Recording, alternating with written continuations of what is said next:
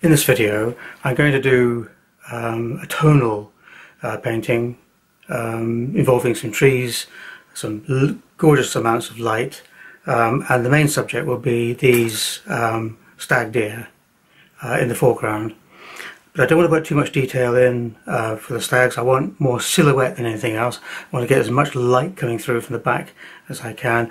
And I want the whole thing to be curtained either side, if you like, by the trees and the leaves and so forth. Now this arrangement is just a little bit too uniform. I don't like that.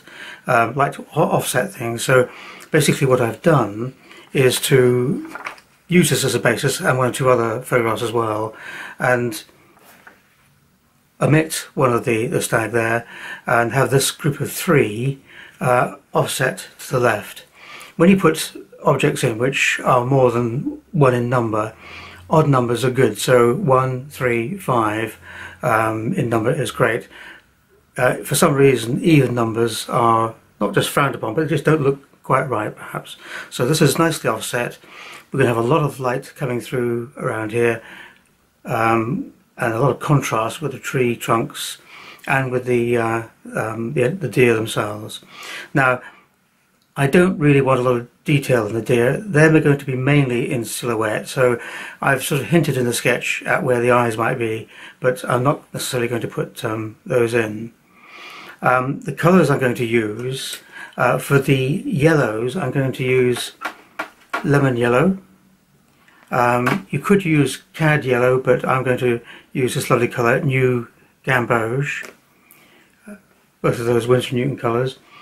I'm also going to use some quinacridone uh, deep gold, that's a Daniel Smith colour, maybe some quinacridone sienna, that's a really nice, that's very close to burnt sienna, that colour, and then um, some burnt umber at the same time. I might just use a little bit of uh, burnt sienna, just see, see how it all goes. Um, so those are the colours, uh, and what I'm going to do is I'm going to get a, a fair amount of splatter going.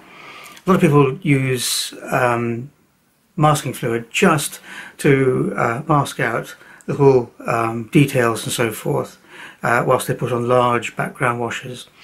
Um, I'm a bit churlish about doing that. I don't have a lot of success with uh, masking fluid. Uh, maybe I'm just not um, uh, patient enough with it. But I do use it for splatter. So having drawn the picture out and put roughly where the trees are and so forth, uh, not gone for too much detail. Um, what I have done is I've laid down a bit of masking fluid splatter. I'll just put a little bit more on. I don't want too much um, on the the animals themselves, but I'm just going to maybe a little bit more over here, down. And I'm going to use that during the painting as well. Right, that's enough of that. So we'll come back to that again later on um, as we go through the, uh, the painting process. So I need to dry that off uh, now um, before I start laying down some of the washes. So the first thing I'm going to do um, is to wet the paper. Large brush, lots of water. You know that this is just in a sketchbook. It's um, sort of 400 gram paper anyway, so it doesn't cockle very much. I haven't uh, bothered stretching it. Just make sure that the paper is well covered. By the way, when you're doing things like splattering and so forth, always wear an apron. Don't um, paint with your best clothes on. So now I'm going to lay down, I want to keep this, this area here nice and light, so I'm going to lay down uh, a light wash of lemon yellow, sort of circular fashion. I want to leave almost white paper in the centre.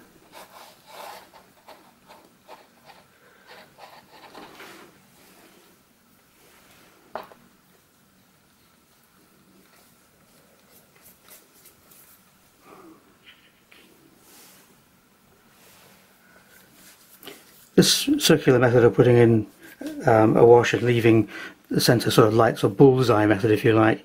Um, it's very good for things like sunsets, where you want some nice light, and then having a dark church or something silhouetted in the, in the centre, so you get that sort of lovely feeling of contrast. So that was lemon yellow. Um, I'm going to put in some new gamboge.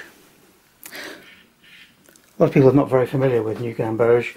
Uh, it doesn't look like much of an attractive colour when you get it out of the tube, sort of dirty brown, but uh, it's got this sort of translucent yellow, golden yellow um, feel to it.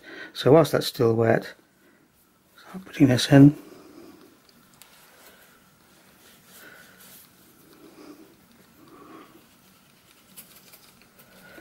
I don't want it to be too uniformly round, so uh, sketch it in.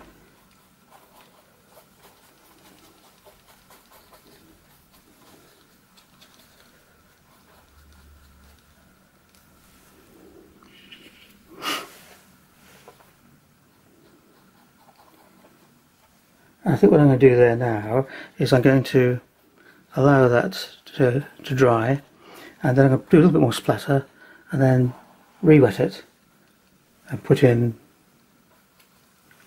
more of the, the other washes. Right, so my initial washes are on and I have um, re-splattered again, which means that when I take all the splatter off at the end of the day, I'll have um, little lights, little white lights from the white paper coming through, and then little yellow lights as well coming through from this first wash, because I'm going to darken this wash um, as we go on. Now, looking at it, I feel as though I've got just perhaps a little bit too much uh, white in the middle there. I can, um, the choice there, I can either do something about that now or later on, but what I am going to do is completely re-wet the paper In fact, this the water I'm using to wet it has got a slight amount of um, lemon yellow in it anyway from the initial wash, so that'll help take away some of that white.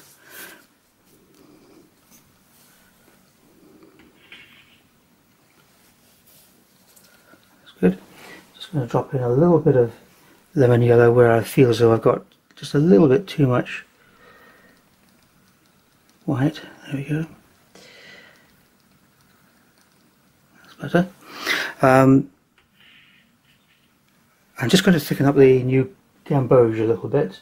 Um, just in one or two places. That's fine. And now I'm going to use um, some quinacridone deep gold. This is a Daniel Smith colour. Um, you possibly haven't got this in your kit. Um, so you can use yellow ochre um, and it's up to you. You can use um, cadmium orange. Will do a nice job as well. So here we go. I don't want it too. I don't want the wash to be too uh, flat. I want it to be a bit variegated. So beginning to think about the, the trees and the branches and so on there. Just uh,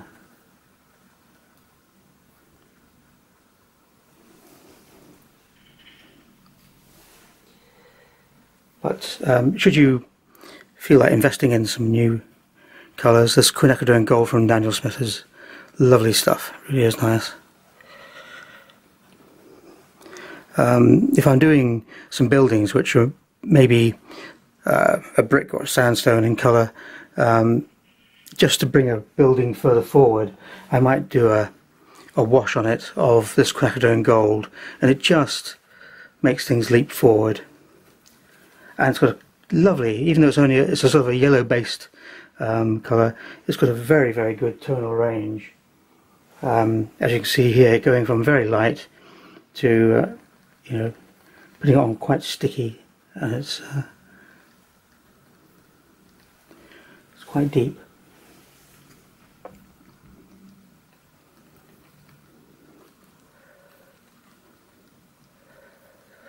Now, just to complement that, um, and again, you possibly haven't got this.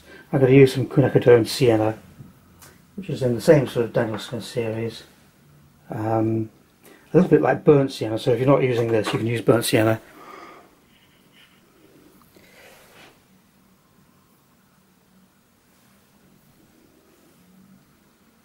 And it's got a little bit more red in it.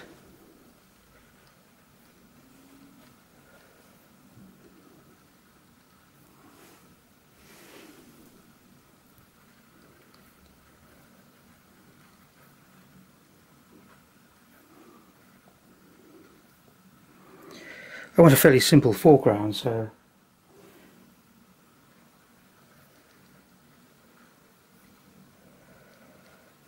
I'm just going to keep to a very small palette.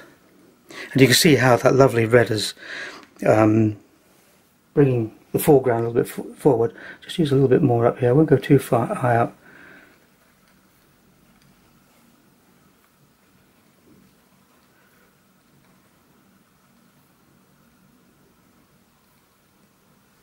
good Now that's possibly a little bit too wet to do much more, um, but I think I might just let that dry a little bit. But as I do that, I'm going to introduce some burnt umber. Use a slightly small brush.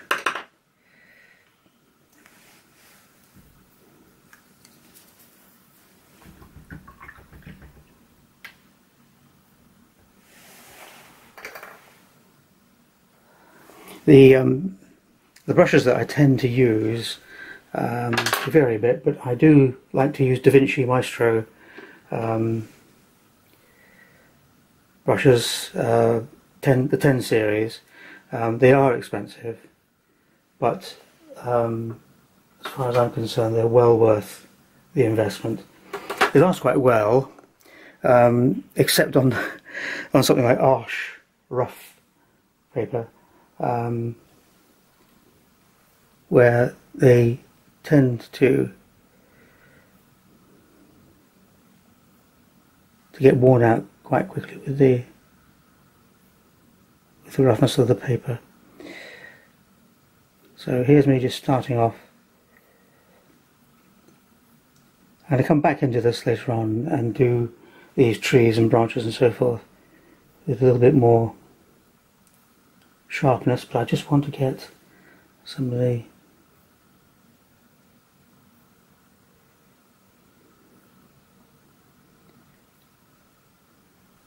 some of the background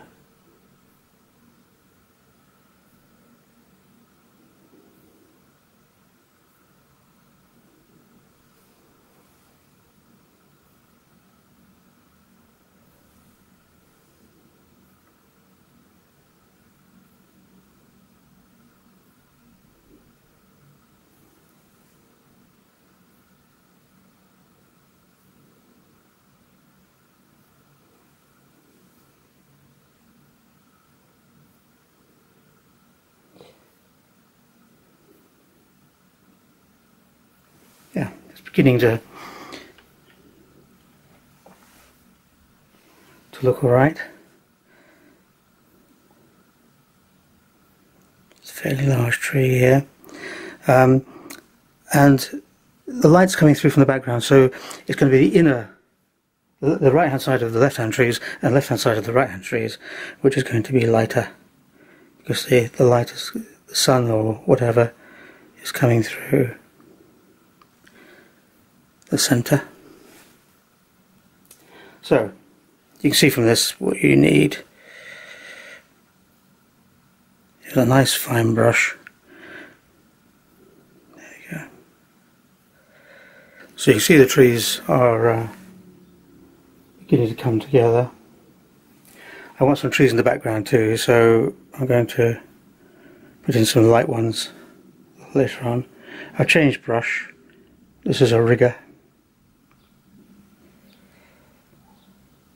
As you see what you need to do rather than sitting over at a table is to stand up hold the brush right at the back end of the, the handle and just flick in movements and don't try to make them continuous. Remember that a lot of trees are this is probably going to cause some political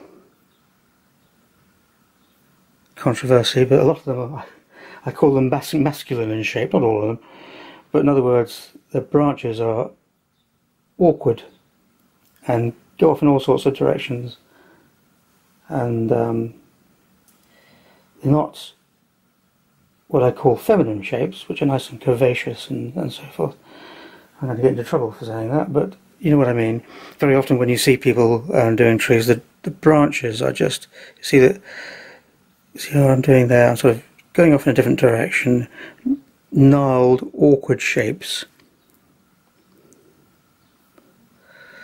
I suppose I get into trouble for saying it's a, a male shape, but uh, anyway.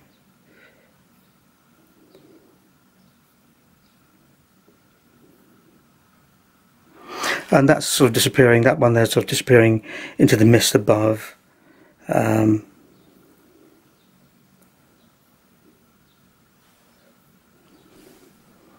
you could go on doing this forever.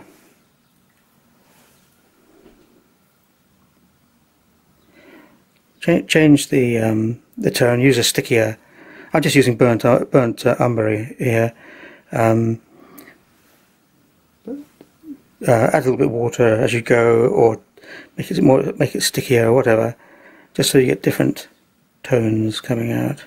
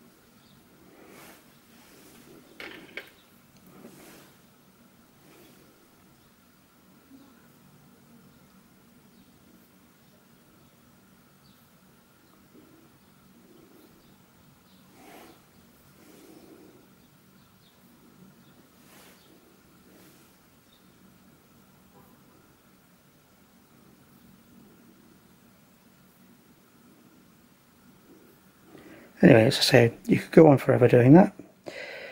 I'm going to come to an end at that point. And what I will do now is add some more splatter, but this time not masking fluid, but some of the other colours I've already, I've already used. So I'm going to use a bit of the uh, quinacridone gold.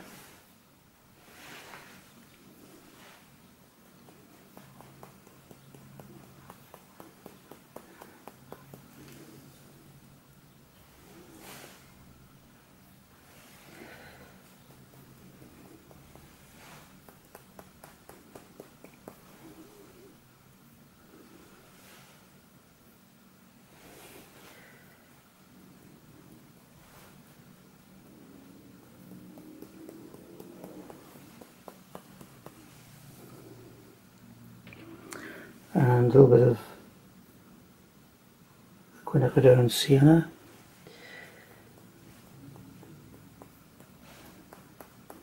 I'll come back and do more of this later on. So I'm going to dry that off now. Right, so I am uh, sitting down now. Just a little reminder, having made all sorts of mistakes myself in the past, if you've been using your um, masking fluid, do make sure that um, you put the top back on and put it to one side. Um, a number of times I have tipped a bottle up and uh, left a horrible mess everywhere. So now I'm just going to um, uh, do a little bit of work on these uh, these deer. Um, I'm going to use um, a little bit of burnt sienna I think to start off with. I don't, I just want shapes, I don't particularly want a lot of detail. Um, so start with this one that's in the rear.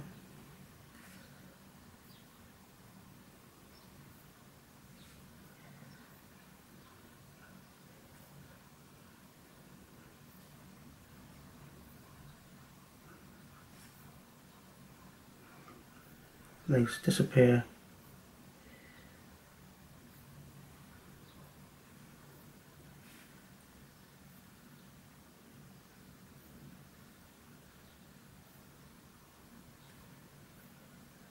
Need a brush with a nice fine point for this.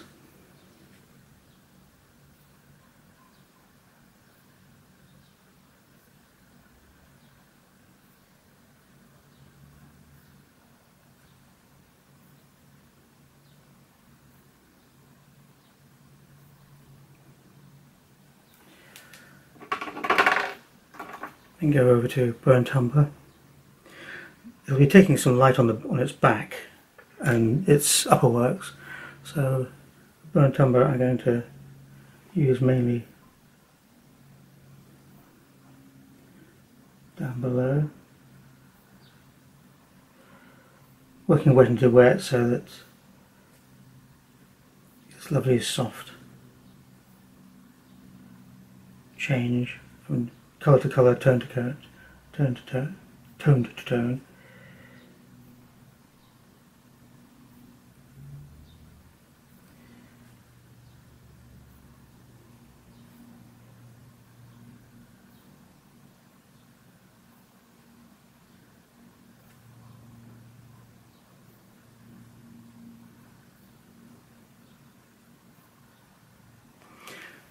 just going to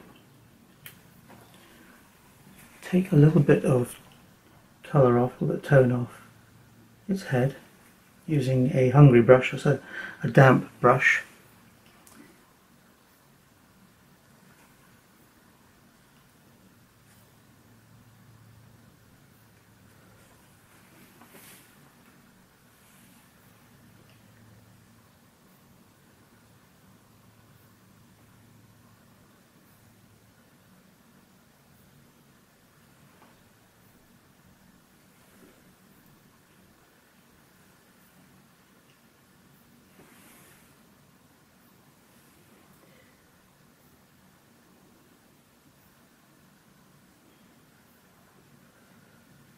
Come back to that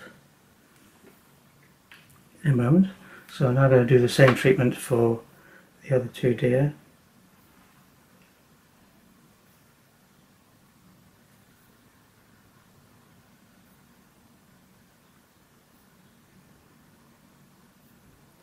Now these two, one overlaps the other, so I'm going to make sure there's some contrast between the two there, so that one gives shape to the other.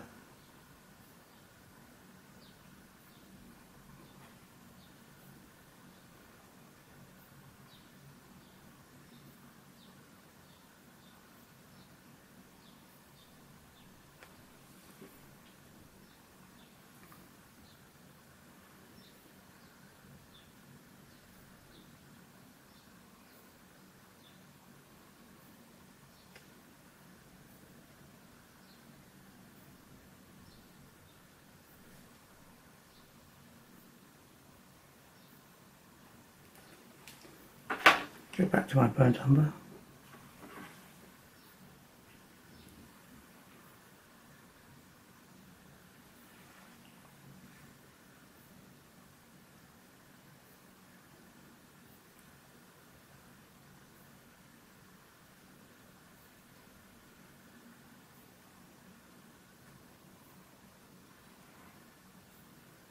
keep that area there light because I'm going to have dark on the the main character.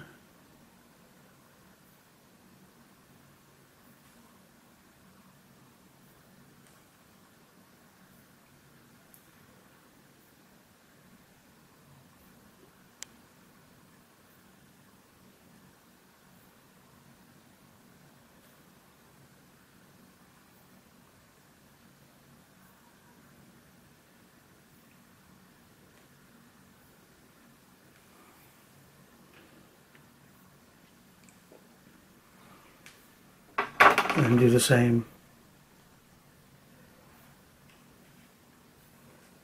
with our friend here.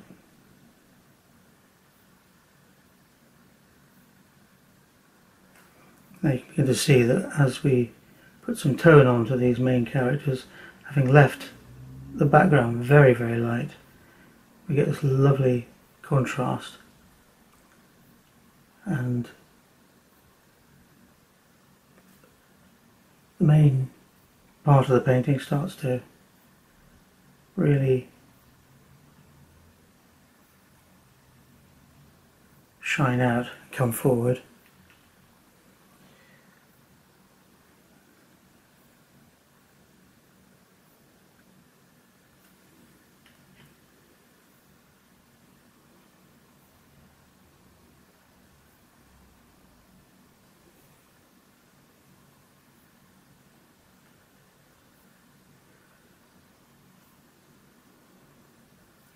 This is just a base coat at the moment. I'll put burnt umber on. Plenty of contrast between this one, the main character, and the one behind it. So you can see there, light against dark. Get that contrast.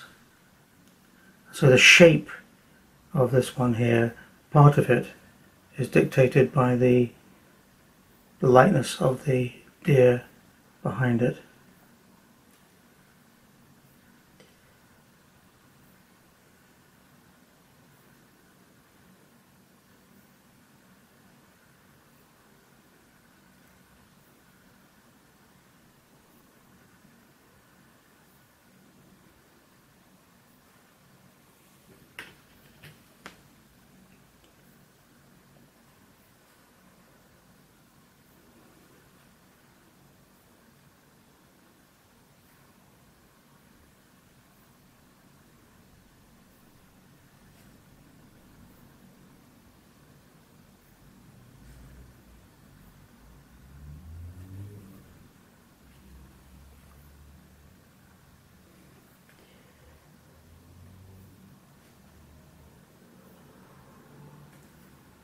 Nice dark antler there, that brings that antler ahead of the tree that's behind it.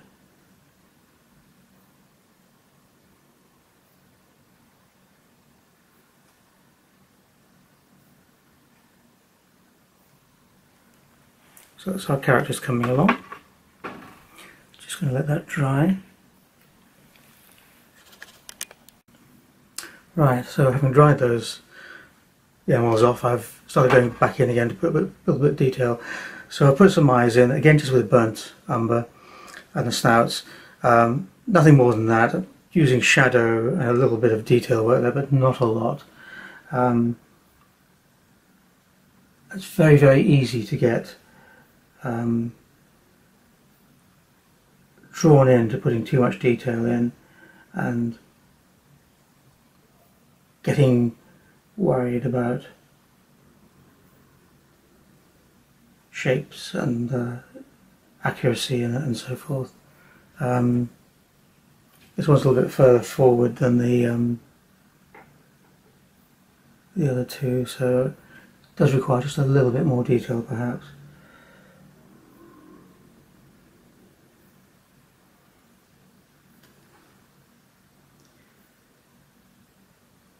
If I make a mistake, as I have done with others at times, just use a damp brush, a damp cloth or whatever, just to take, a, take off what you don't want. It's very easy to get it almost right and then just to go that little bit further and uh, mess, mess it up. So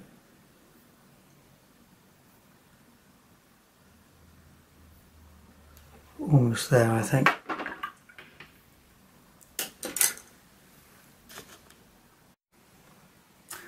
So I'm just now going to, having more or less sorted out the,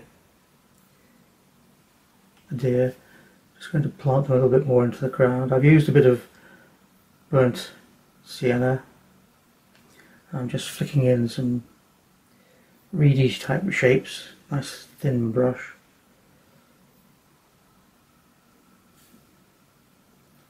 So that they become part of the the painting rather than just standing by themselves. Using a bit of positive negative painting here. The negative being the the yellow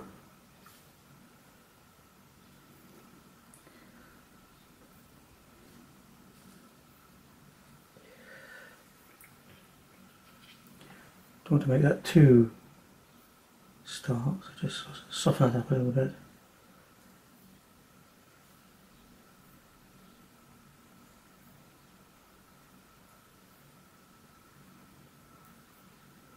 Good.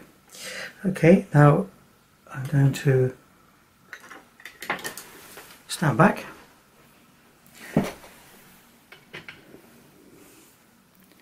And do a little bit of burnt umber splatter up here. I could have spent a lot more time on these trees, putting more branches in and so on and so forth. But uh, I think what I've done there is enough for a simple painting.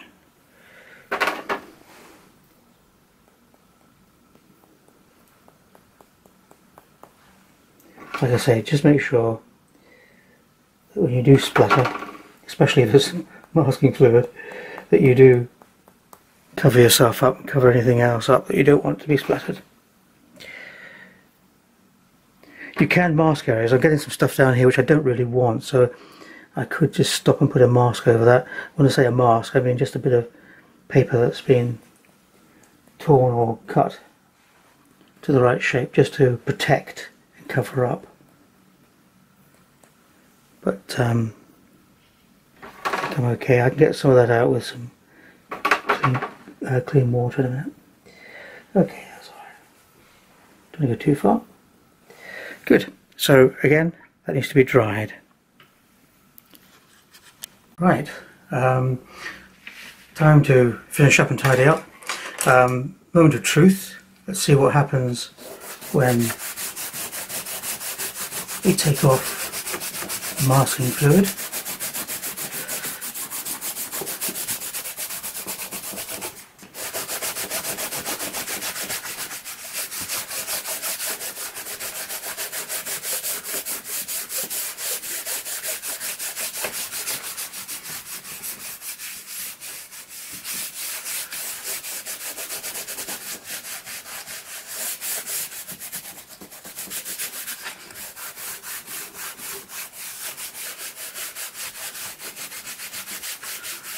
Too bad.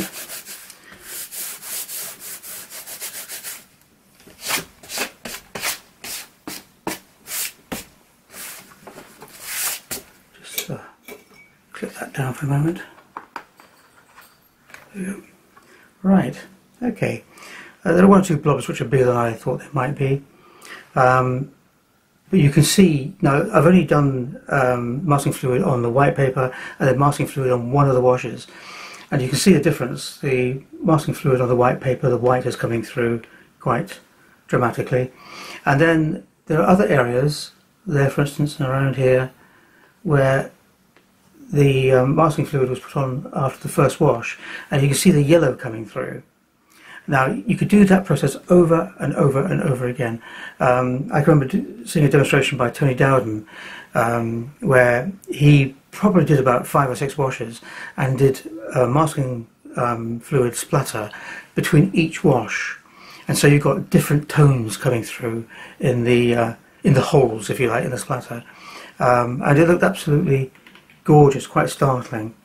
Um, I'm just going to do a little bit of rebalancing here and there just to finish off.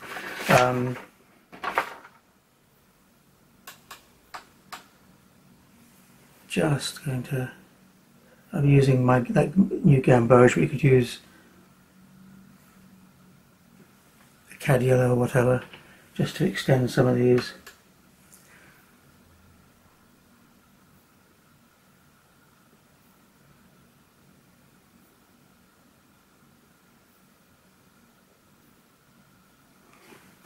too much of that, just pat that out a little bit. That's fine. And in the foreground, do a similar thing, but in this case, do it with some burnt umber.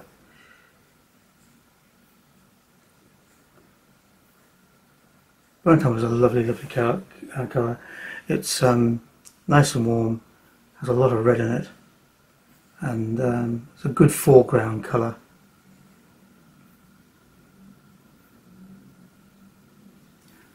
So it's a good colour for bringing items, whether it's grasses or buildings or whatever else forward in your painting. Um,